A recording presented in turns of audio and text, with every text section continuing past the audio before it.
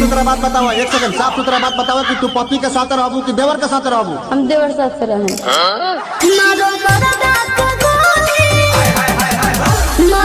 रहे